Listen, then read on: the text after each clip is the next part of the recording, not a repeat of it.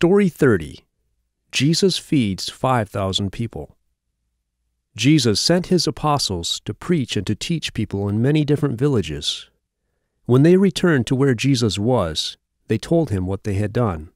Then Jesus invited them to go with him to a quiet place across the lake to rest for a while. So they got into a boat and went to the other side of the lake. But there were many people who saw Jesus and the disciples leave in the boat. These people ran along the shore of the lake to get to the other side ahead of them. So when Jesus and the disciples arrived, a large group of people was already there, waiting for them. The crowd had over 5,000 men in it, not counting the women and children. Jesus felt great compassion towards the people.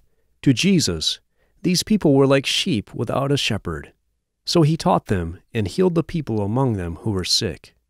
Late in the day, the disciples told Jesus, It is late, and there are no towns nearby.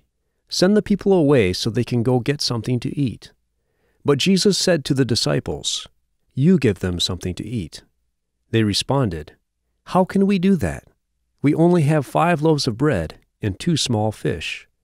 Jesus told his disciples to tell the people in the crowd to sit down on the grass, in groups of fifty people each.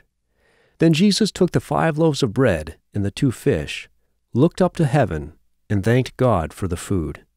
Then Jesus broke the bread and the fish into pieces. He gave the pieces to his disciples to give to the people. The disciples kept passing out the food, and it never ran out. All the people ate and were satisfied.